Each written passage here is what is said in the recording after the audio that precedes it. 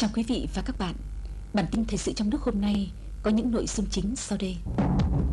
Bộ Quốc phòng sơ kết nhiệm vụ tìm kiếm, truy tập hải liệt sĩ. Quận 6 hội thu quỹ đền ơn đáp nghĩa. Công ty Global Cybersoft Việt Nam ký kết hợp đồng thương mại về phần mềm máy tính với Nhật Bản.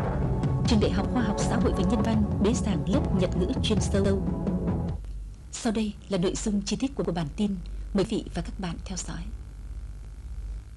Tại thành phố Hồ Chí Minh, công ty Global Cybersoft Việt Nam tổ chức lễ ký kết hợp đồng thương mại giữa tập đoàn Sumitomo Nhật Bản. Sumitomo, một trong những tập đoàn thương mại lớn nhất của Nhật Bản, sẽ là đại diện độc quyền cho công ty Global Cybersoft Việt Nam tại Nhật Bản và tạo điều kiện giúp Global Cybersoft xâm nhập vào thị trường công nghệ thông tin Nhật Bản. Đến dự có ông Nguyễn Thiện Nhân, Phó Chủ tịch Thường trực Ủy ban nhân dân thành phố Hồ Chí Minh, Công ty Global Cybersoft Việt Nam là công ty được đầu tư 100% vốn từ công ty Global Cybersoft Inc. Hoa Kỳ. Trong 3 năm hoạt động, công ty Global Cybersoft đã đạt được thành quả trong lĩnh vực gia công phần mềm cho khách hàng, chủ yếu là khách hàng Nhật, Nhật Bản, Hoa Kỳ.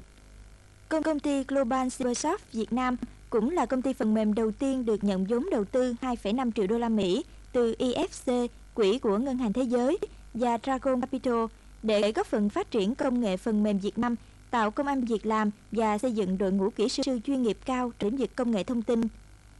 Global Cybersoft hiện là một trong những công ty tiên phong xâm nhập vào thị trường Nhật Bản.